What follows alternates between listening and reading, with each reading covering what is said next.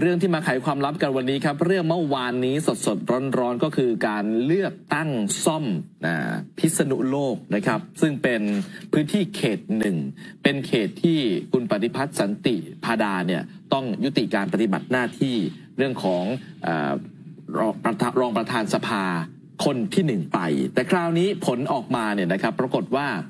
อสองคนคนหนึ่งเพื่อไทย คนหนึ่งพักประชาชน ที่สุดแล้วฝั่งเพื่อไทยชนะนะครับ ด้วยคะแนนเสียงเนี่ยนะ อย่างไม่เป็นทางการคือ 37,209 คะแนน ส่วนพักส้มจากประชาชนนะครับ 3,640 คะแนนแหม่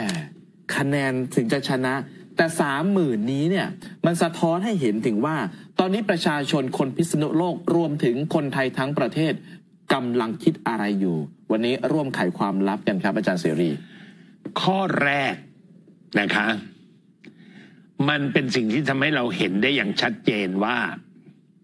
ถ้ามีการสู้กันตัวต่อตัวเนี่ยพักส้มไม่แน่ว่าจะชนะเสมอไปนะคะแต่ถ้าเมื่อไหร่มีการสู้กันหลายพัก คนที่เขาต้องการเลือกพักส้มเนี่ย เขาค่อนข้างมั่นคง แต่คนไม่เลือกพักส้มเขามีทางเลือกอืมเราจะเลือกเพื่อไทยดีไหมเราจะเลือกภูมิใจไทยดีไหมเราจะเลือกเพื่อนะเพราะฉะนั้นคะแนนก็เลยแตกกันออกไปนะทีนี้รอบนี้เนี่ยที่เขาไม่ชนะ ข้อที่หนึ่งมันหนึ่งต่อหนึ่งคะแนนฝั่งคนที่ไม่เอาส้มเนี่ย ไปรวมอยู่ที่เดียวก็คือเพื่อไทที่ยของเพื่อไทยอ่าสมมุติว่าคราวนี้นะพักอื่นลงด้วยนะ แพ้ส้มเลยจะบอกให้ แปลว่า คนพิษณุโลกแต่ฐานเสียงก็ยังเป็นคนของหมออองอยู่นะ พื้นที่หมออองก็ใช่ไง พี่ถึงบอกว่าถ้าเกิดลงมากกว่าหนึ่งพักอาจจะว่าภูมิใจไทยลงไปด้วยนะอ่าเชื่อไหมส้มชนะเพราะเสียงแตกเทจะถูกพวกกลุ่มอนุรักษ์เนี่ยก็จะเทไปที่อ่าอารุมภูมิใจไทยใช่แต่รอบนี้เนี่ยอนุรักษ์เนี่ยจำนวนสูงมากเลยนะคะ โนโหวตค่ะอืม คือเขาทำใจไม่ได้ที่จะเลือกทั้งสองพักนี้ อาจารย์ถ้าดูจำนวนโนโวตดูบัตรเสีย มันสะท้อนให้เห็นถึงอะไร ก็สะท้อนว่าเขาไม่เอาสองพักนี้อ่ามีมีคนจำนวนหนึ่งไม่เอาสองพักนี้ แต่อันนี้คือคัดมาแล้วจำต้องเอาอ่าเพราะฉะนั้นคนที่ลงก็คือไม่เอาส้มก็เอาแดงครับ แต่คนที่บอกส้มฉันก็ไม่เอา แดงฉันไม่เอา ก็เลยโนโหวตหรือทำบัตรเสียไปนะครับ ทีนี้รอบนี้เนี่ยอ่าพี่บอกข้อที่หนึ่งแล้ว ที่ส้มเขาแพ้ เพราะว่ามันต่อสู้หนึ่งต่อหนึ่งหนึ่งคะแนนมันไม่แตกนะคะ ข้อที่สองก็อาจจะแปลว่า คนที่เขาชอบหมออ๋องเนี่ยเขายังไม่สามารถที่จะย้ายความชอบเขาจากหมออ๋องมาคนที่เป็นตัวแทนหมออ๋องครับ คือการเป็นตัวแทนมันไม่ได้แปลว่า เฮ้ยถ้าเราไม่ได้กอไก่แล้วเอาขอไข่ซึ่งเป็นตัวแทนของกอไก่ก็แล้วกัน มันไม่ใช่ เพราะฉะนั้นคนที่เขาชอบหมออ๋องนั้นก็ไม่ได้แปลว่าเขาชอบคนที่ หมออ๋องส่งเป็นตัวแทนในรอบนี้นะครับข้อที่สามมันเป็นไปได้เราคงรู้จักคำว่าตาสว่างนะครับคือการที่ได้หัวหน้าพักคนใหม่มาเปลี่ยนชื่อเป็นพักประชาชนครับ สิ่งหนึ่งที่หัวหน้าพักพูดชัดเจนมากคืออะไร ยังไม่ยกเลิกเรื่องการที่จะต้องต่อแยกับหนึ่งหนึ่งสองอืมเขาบอกว่าเขาจะถอดบทเรียนจากการที่โดนยุบพัก คราวนี้ในการที่จะเข้าไปยุ่งเกี่ยวกับมหนึ่งหนึ่งสองเนี่ย จะต้องทำให้รอบคอบมากยิ่งขึ้นครับตอบเราเคยพูดแล้วว่าคนที่เลือกส้มรอบที่แล้วเนี่ย เขาเลือกเพราะเขาชื่นชมใน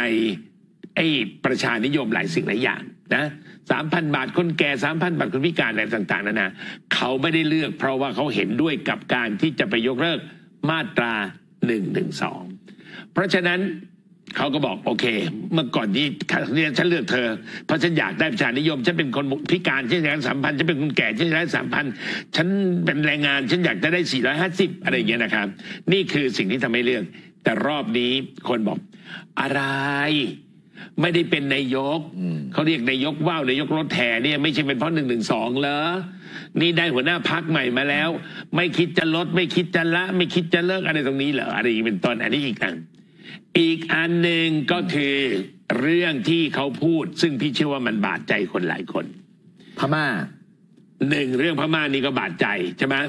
โอ้โรงเรียนพม่าอ่าเนี่ยอย่าไปปิดเขาสงสารเขาอะไรต่าง ๆนั่นแล้วนะว่ามีส่วนมีส่วนอืมเพราะว่า พักนี้เคยโดนกล่าวหาเรื่องการที่ไปพูดที่ภาคใต้จำได้ไหมคะครับต้องมีนายกของตัวเองมีอะไรต่างๆ และขณะเดียวกันก็ขึ้นเหนือก็จะมีชื่อรัฐภาคเหนือด้วยนะอะไรอย่างนี้เป็นต้นหลายคนก็กลัวเรื่องนี้ว่าเฮ้ย ถ้าเลือกพักนี้ไปเนี่ย มันจะมีลักษณะเป็นอย่างนี้หรือเปล่าอืมเพราะฉะนั้นเขาก็บอกไม่เอาละครับนะคะ นอกจากนั้นแล้วมีอีกเรื่องหนึ่งต่อเวลาคนเดือดร้อนเขาพักเขา ไม่เชื่อเรื่องการเอาของไปแจกบุญคุณมันจะกลายเป็นระบบอุปถัมอุปถัมภ์ภ์ที่ทำให้เกิดบุบุญญคุคุณณอ่าเขาบอกว่าเขาขอลงพื้นที่ไปให้ขวัญกำลังใจก็พอแล้วครับนะทีมงานมีไหมเนี่ย จะมีรูปที่เป็นคนนั่งกันอยู่ในเต็นท์นะนะคะ เรียงเป็นเรียงเป็นแถวเลยนะใส่เสื้อสีส้ม แล้วเขาบอกเนี่ยเป็นศูนย์มองตาอ๋อมาจากวัฒกรรมมาสิเนี่ยอะก็คือแค่มองตาก็เป็นกำลังใจแล้วไงนี่ขนาดการทำไวรัลในโลกออนไลน์ที่พิษณุโลกนะโอ้โหพักส้มเนี่ย ต้องบอกว่ายังไงก็เฉือนชนะเพื่อไทยเพราะเราเห็น โพลออกมาเขาชนะทุกโพลใช่ ทุกโพลออกมาอ่าโอ้แล้วนำโด่งด้วยนะครับ ใช่ คนก็เลยถามว่าอืมเฮ้ยเข้าไปทำโพลที่ไหนเหรออมอันนี้มันทำให้เราตั้งคำถามกับโพลอื่นๆเยอะแยะไปหมดเลยนะ มันสวนทางกันเลยอ่าโพลของเขาเนี่ย ชนะทุกทุกโพลเลยอ่าและชนะแบบชนะขาดด้วยนะคะ อันนี้พอชนะแล้วตอบมีวัฒกรรมอะไรบ้างอืม ชนะเพราะว่าซื้อเสียง อ่าอันนี้หนึ่งวัฒกรรมแล้วก็มีการบอกว่าเนี่ยมันต้องมีการซื้อเสียงเกิดขึ้นนะคะอ่าแค่นั้นยังไม่พอนะ คือการซื้อเสียงก็ดูถูกคนพิษณุโลกระดับหนึ่งแล้วนะ ว่าขายเสียง แต่มันยิ่งไปกว่านั้นก็คือว่า คนพิษณุโลก ไม่พร้อมที่จะรับความเจริญอืมอ๋อ อันนี้เขาก็ไปเปรียบเทียบจังหวัดอื่นๆที่เขาได้มาทั้งจังหวัดอ่าก็คือจังหวัดไหนเลือกเขาเนี่ยแปลว่าจังหวัดนั้นเข้าใจ ว่าพวกเขาเนี่ยเข้ามาเพื่อจะนำเอาความเจริญมาให้ เพราะฉะนั้นพื้นที่ไหนจังหวัดไหนที่ไม่เลือกเขาแปลว่า ไม่พร้อมที่จะขานรับความเจริญ อาจารย์ไม่มองถึงนโยบายหรือว่าความคุ้นเคยของผู้สมัคร ในการลงพื้นที่ครั้งนี้ของพรรคประชาชนเลย คือเอ่อถ้าพูดถึงว่าความคุ้นเคยในแง่ข่าวพี่ไม่เห็นว่าเออคนคนนี้เป็นที่คุ้นเคยยังไง เพราะเขตนี้เป็นเขตของหมออ๋องอืมอย่างที่พี่พูดอะว่าคนอาจจะมองว่าคนที่มาแทนหมออ๋องเนี่ยมันเทียบไม่ได้กับหมออ๋องครับอายกตัวอย่างสมมติว่าคุณชวนหยุดอันนี้พี่หยุดนะคุณชวนชวนหยุดอือฮึแล้วก็มีคนแทนแล้วก็บอก คนเนี้ยเป็นเด็กปั้นคุณชวนเลยอ่าฮะคุณชวนส่งมา มันก็ไม่ได้แปลว่าคนที่ชอบคุณชวน จะต้องชอบคนที่คุณชวนส่งมาเสมอไปถูกไหมล่ะ เออมันไม่ใช่แทนกันได้แบบหนึ่งต่อหนึ่งนี่เออแล้วมันมีเรื่องของเสียง อย่าลืมว่าพิษณุโลกเนี่ยค่ายทหารมีอยู่เยอะนะ มีเท่าไหร่เอ่อทหารค่ายทหารมีอยู่สี่แห่ง มีกองทัพภาคสามค่ายสมเด็จพระนเรศวรค่ายเอกาทศรสและกองบัญชาการช่วยรบเออถ้าพูดถึงว่าประเด็นของคนที่อยู่ในค่ายทหารเนี่ยมีส่วนที่จะทำให้การเลือกตั้งครั้งนี้เป็นแบบนี้ไหม ก็เป็นไปได้นะ เพราะว่าทหารเนี่ย สิ่งหนึ่งที่เป็นจิตวิญญาณของทหารส่วนใหญ่ ก็คือความจงรักภักดีต่อสถาบันพระมหากษัตริย์ ในการที่มีการวินิจฉัยเรื่องการยุบพักมันก็มีข้อความชัดเจนว่า พฤติกรรมของพักเนี้ยซ้อกร่อนบ่อนทำลาย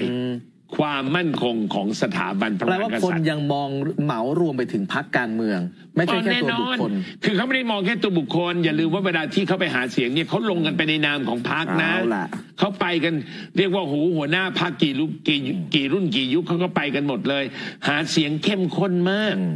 เพราะฉะนั้นตอนนี้เราก็เจอวัฒกรรมว่าซื้อเสียงหรือเปล่า หรือวัฒกรรมที่ว่ายังไม่ขานรับความเจริญหรือเปล่า อย่างนี้เป็นต้น ซึ่งถ้าทำอย่างนี้ก็ไม่รู้ว่าคนพิษณุโลกเขาจะเสียอกเสียใจไหมว่า